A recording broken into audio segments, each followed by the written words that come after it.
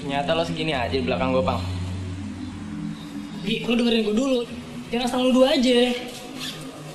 Lo mau ke mana? Lo nggak bisa cabut itu aja, Lo dengerin gue dulu. Apa? Lo mau jelasin apa lagi sama gue? Gue gak butuh penjelasan lo, pengkhianat. Lo kalau ngomong jangan sembarangan.